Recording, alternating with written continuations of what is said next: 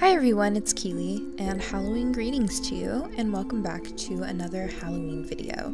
Today I'm going to be painting a panel that I got from Checkle Art Supplies actually last October because I have this really bad habit of buying panels and then being like, oh, it's too precious to use. I can't paint it, even though painting it is exactly what I bought it for.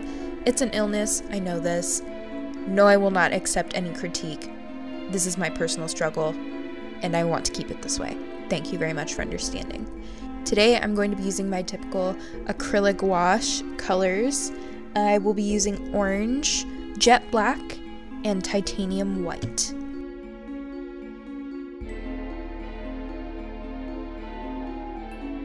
So like I said, I did buy this panel last year. Again, I know it's a problem.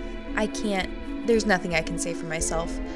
I actually also have another couple that I ordered at the same time that I also haven't painted, both from anxiety and also just because hoarding, you know. I have a really hard time when I spend like a lot of money on something to paint because it just gets in my head and I'm like, don't ruin it. Don't ruin it. Even though I know very well I could just sand this down if I did ruin it. Fun fact if you didn't know. If you are painting on a wooden panel, you can normally sand down your painting if you don't like it until you get rid of it, or you can just add more primer over the top until it's opaque again. But it is best for you to prime it because that's what creates the buffer between the wood and the painting so that the paint doesn't soak directly into the wood and stain the wood because that just makes it way harder to cover up.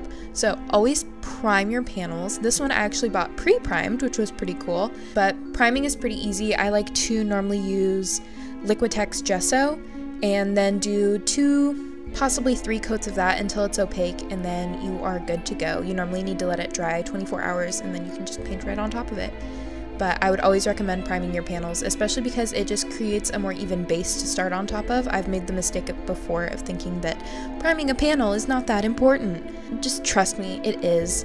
Wooden panels with no primer on them, even if it looks like uniform color, always casts that like orangey woodish tone onto your painting, and it just does not go very smoothly, so just heed my warning. Heed your old art aunt's warning. Prime your panels, ladies and gentlemen. Thank you very much. So, I don't know if you guys have noticed, but one of, no, quite possibly my favorite Halloween theme is Vintage Halloween. I just recently started learning about the different types of Halloween decorations because in my mind I had a distinction, but I did not know about the different names for Halloween styles. And so, if you are like a huge Halloween fan, like you really enjoy the spooky season, really like decorating for it, I would really suggest looking up the names of different Halloween decorating styles and like Halloween themes and whatnot because it's actually really interesting to like learn about the origins of a lot of this stuff. But one of my favorites is vintage Halloween. You know, like the good old like 40s, 50s vintage Halloween. So, this year as you all know, I am not doing Inktober. Actually, you might not know if you don't follow me on Instagram, but if you follow me on Instagram, you know. I am not doing Inktober this year for a lot of reasons. If you want to know why probably a lot of artists aren't doing Inktober this year, I would suggest googling the person who started Inktober, who like created the ch- like challenge or trend or whatever. Uh, he's kind of turned out to be little bit of a turd burger, to be honest. A lot of people decided not to participate in his challenge between the just like way he behaved about it this year and the way he behaved about it last year as well. It's just not really a trend that I'm like looking to support, but I have no problem with other people who want to participate in it because I feel like Inktober itself has moved past the creator and it's been taken over by the people. We own this now. but another reason I didn't want to participate in it this year is because Honestly, daily drawing challenges are just not something that my old body can keep up with anymore. I'm not happy with my work when I try and output art on a daily basis, which is what I used to aim for, just not even during Inktober exclusively, but all year. I used to always aim to like do a drawing a day, which is like I think a good idea. But for me at this point in my career, I know that doing an entire drawing or illustration in one day every day uh, just leads to art that I'm unhappy with. I don't put enough time into it. I don't get enough time to put into it if I do it that way.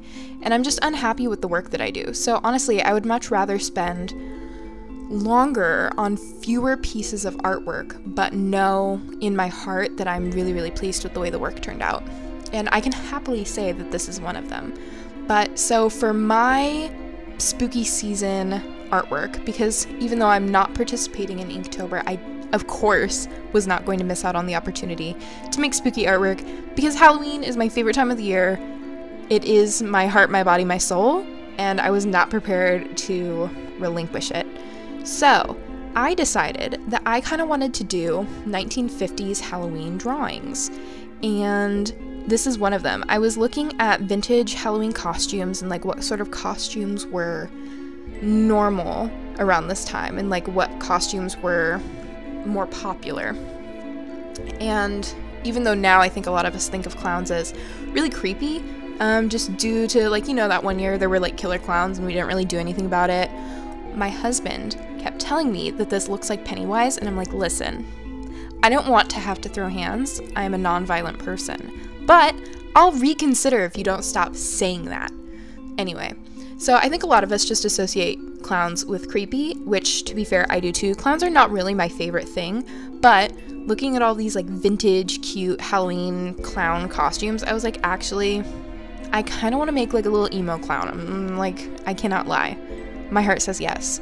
So that's what I aimed for here. I hope you guys like it. I enjoyed painting this. I really, I don't know, man. The older I get, the more I'm like, nah, I really think limited color palettes are my thing. I don't like using lots of colors. It's just not fun. I like a few colors that go really, really nicely together, and it makes my heart happy, so that's what I did. But yeah, I hope you guys enjoy it. If you're interested in giving this cute little clown girl a new home, you can find the link to my shop in my bio down below. She is looking for a wall to haunt for the rest of her life. So if you're really into looking at clowns for every day for the rest of forever, I think she might be for you.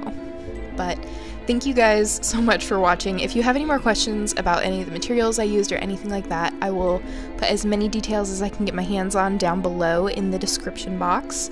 And yeah, follow along for more videos this spooky season, and I hope you all are doing really, really well, and I will see you guys in the next one. Bye!